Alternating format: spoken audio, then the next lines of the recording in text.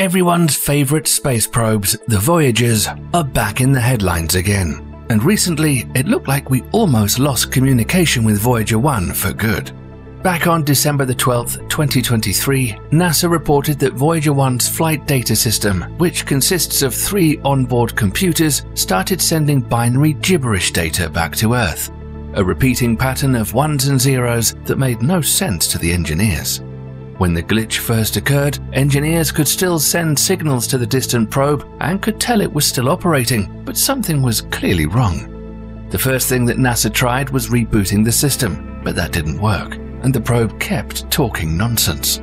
But after months of trying every trick in the book, NASA engineers finally came up with a solution. We'll get to that in a moment, but first let's take a closer look at the Voyager 1 probe, and you'll see just how remarkable it was for the engineering team to come up with a fix for the glitch in the first place. First of all, it's astonishing that the Voyager 1 and 2 probes have been traveling in space for nearly 47 years now and NASA has been doing everything it can to keep the probes operational.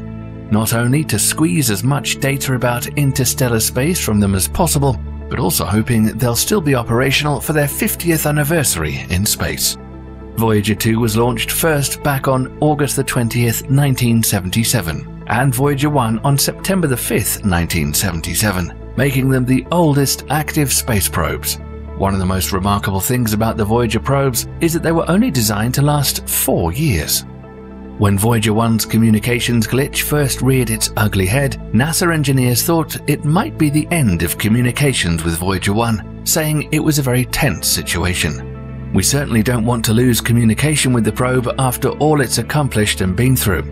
Voyager 1 is a very important spacecraft that's achieved some very remarkable feats. It's a scientific legend, to say the least. It discovered that one of Jupiter's moons, Io, wasn't just a dead rock, but a supervolcanic world.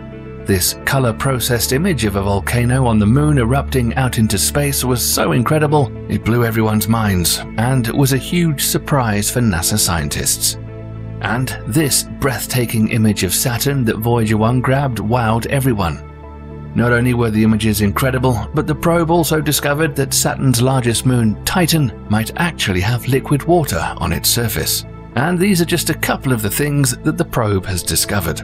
So, what happened to Voyager 1? And what caused the spacecraft to stop communicating normally? It turns out that a critical system had gone haywire. Voyager 1's flight data system is an essential component that enables the spacecraft to function autonomously during its deep space journey. And currently, the probe is an unbelievable 15.5 billion miles away from Earth.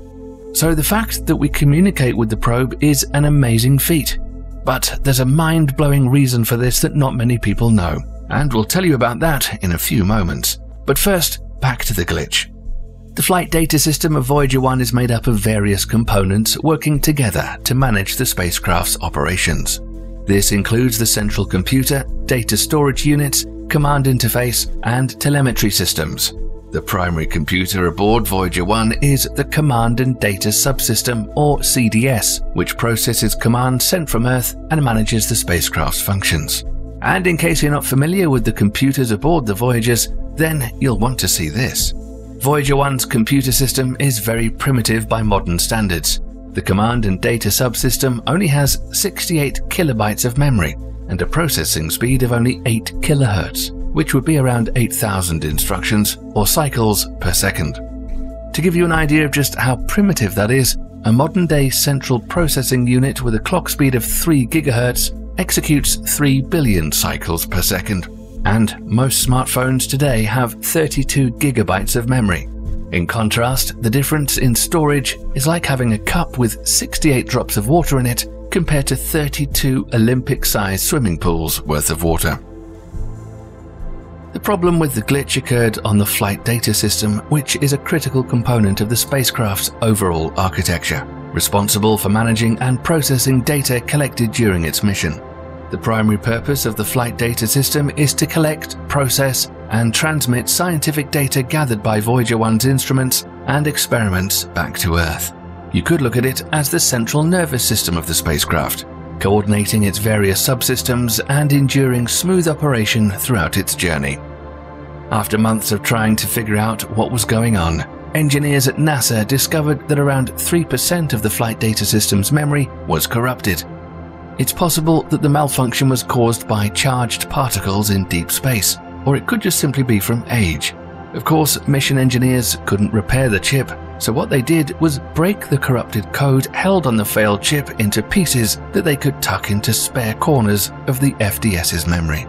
The first fix was transmitted to the Voyager 1 probe on April the 18th. With a total of 30 billion miles to traverse from Earth to the spacecraft and back, the NASA team had to wait nearly two full days to receive a response from the probe.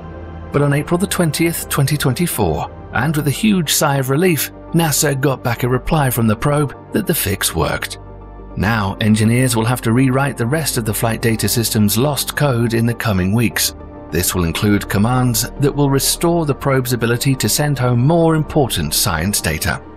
This is far from the first time that the probes have had failures. The long years in the harsh environment of space have been hard on Voyager 1 and 2. Contact with Voyager 2 was lost in August 2023, and engineers thought that that would be the last time we would hear from it again.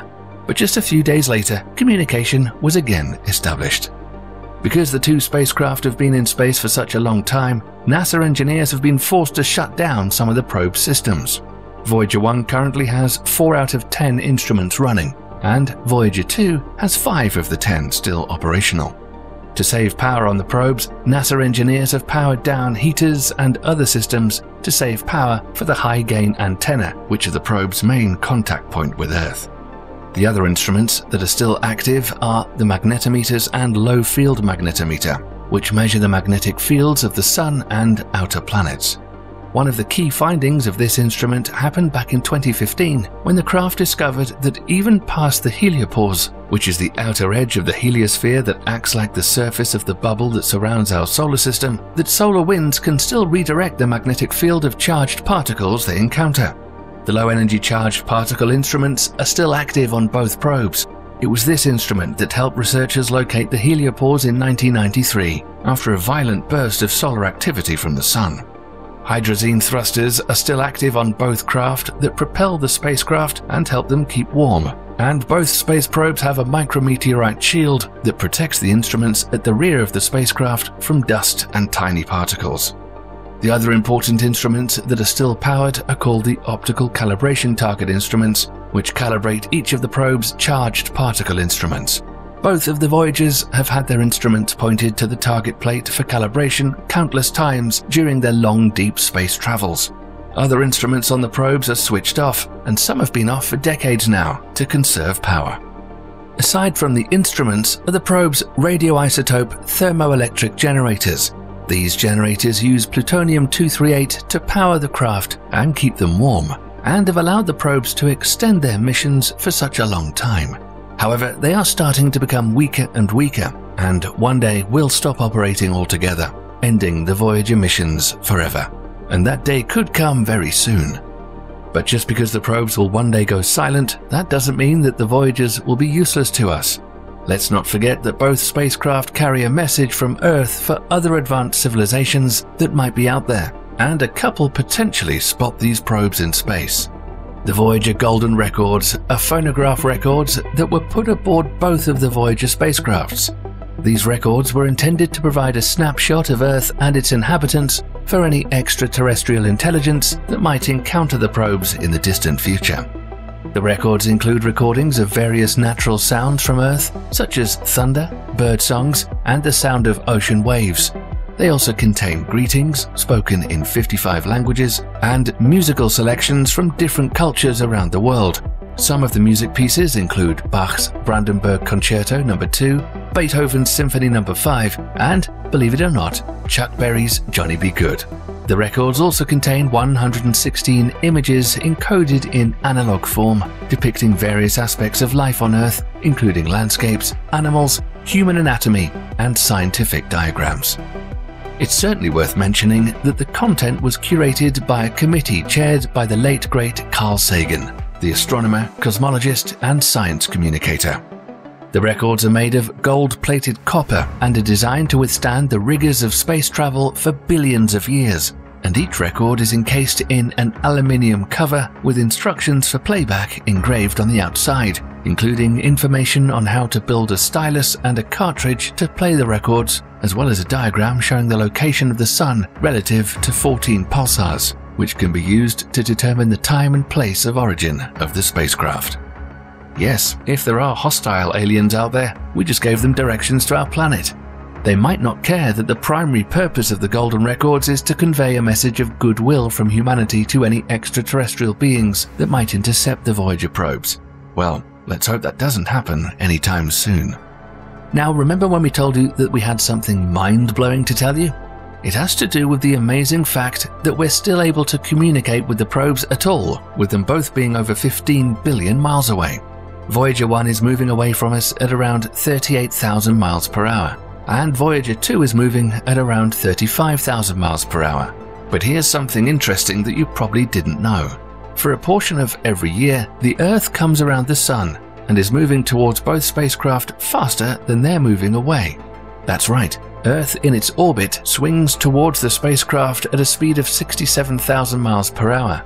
Therefore, their distance to Earth are getting closer temporarily. They never change their outward motion, it is us and the Earth that changes. Both of the Voyager probes continue their mission to explore interstellar space and transmit valuable scientific data back to Earth. They remain the farthest human made objects from Earth, operating beyond the influence of our Sun's solar wind in the interstellar medium. They are truly a testament to the ingenuity of the human imagination. That's all we have for today, but be sure to stay tuned here for more updates on the Voyagers as we hear about them. Let us know if you want to hear more about the discoveries from these amazing probes in the comments, and thanks for watching.